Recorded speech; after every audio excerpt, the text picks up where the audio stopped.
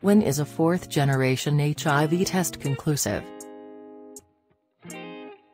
When the virus enters the body, it takes 72 hours to reach the lymphoid organs, representing the great reservoir where the HIV infection and spread phenomena occur. When these nodes are infected, the eradication of HIV is impossible. When is a fourth-generation HIV test conclusive? Nowadays, four generations are used in the majority of nearby medical centers, which detect antibodies earlier, reducing it in 4 to 10 days.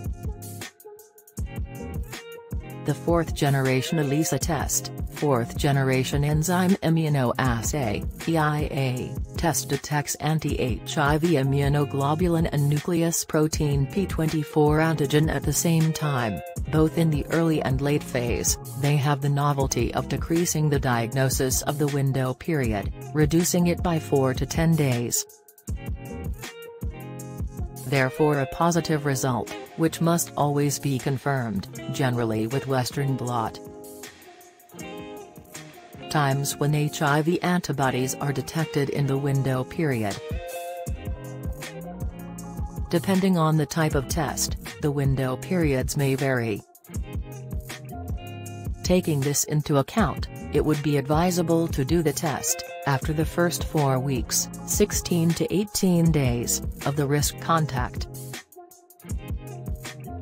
to know the result and stay calmer or take appropriate measures, thus shortening the anguished waiting period and then repeating the test in most cases would be enough after 45 days or 3 months, depending on the type of test. An antigen-slash-antibody test performed by a laboratory with blood may detect HIV infection partially normally to 18 to 45 days after exposure. For it to be a total of 45 days must elapse, and the test is done, and then the result is definitive. Antigen-slash-antibody tests done with blood from a finger prick shall take longer to detect HIV, 18 to 90 days after exposure, to be definitive, 90 days must elapse and be tested. When the goal is to ensure that a person does not have HIV, an antigen-slash-antibody test performed by a laboratory using blood from a vein is preferred. Taking pre-exposure prophylaxis, PrEP, or post-exposure prophylaxis, PEP, medications can also reduce the accuracy of the nucleic acid test if you have HIV. In HIV-infected people, antigens called P24 are produced even before antibodies. Antibody tests can generally take 3 to 12 weeks, 23 to 90 days, days to partially detect HIV infection, to be definitive, 90 days must elapse and be tested. The most rapid tests and tests to be done at home are antibody tests. In general, antibody tests using blood from a vein can detect HIV sooner after infection than tests done with blood from a finger stick, oral fluid, or urine sample. Most rapid tests and residential tests are antibody tests.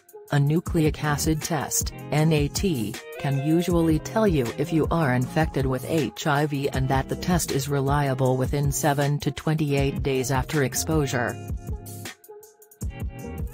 They are very expensive, they are recommended in specific cases, explained below, and when the patient has symptoms of acute infection or primary infection, and they are not used regularly. Source, CDC. In fourth-generation HIV ELISA tests, the time to antibody development, 95% at week 4 and more than 99.9% at 6.5 or 42 days. Source, Datacita. At 6 months, it is too soon to have definitive information from a negative test result. If the 4th gen test is negative at 6 months after exposure, you are likely safe.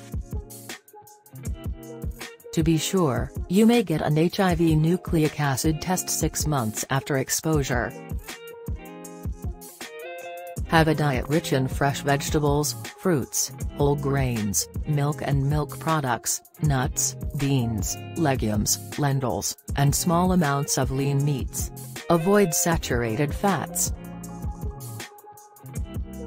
Drink enough water daily so that your urine is mostly colorless.